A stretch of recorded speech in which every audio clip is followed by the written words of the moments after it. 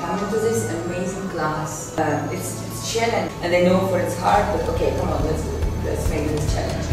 But it was I thought it would be hard, but it was not so hard. It was much easier because of you, because of every one of you guys, and I'm happy that uh, we're all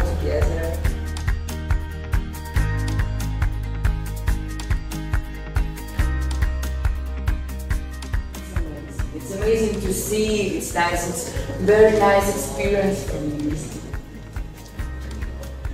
Thank you so much. We meant to say that we, everyone finds our way for this.